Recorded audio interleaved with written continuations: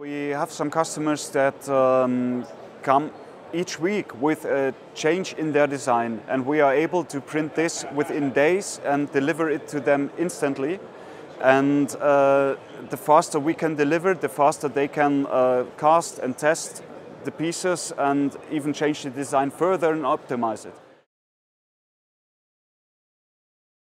Compared to traditional methods, we have a much higher flexibility. Uh, we can adapt much faster to changes in the geometry. We can uh, print uh, molds for special single parts and you don't need to invest uh, a lot of money into uh, milling a, a, a pattern or a core box.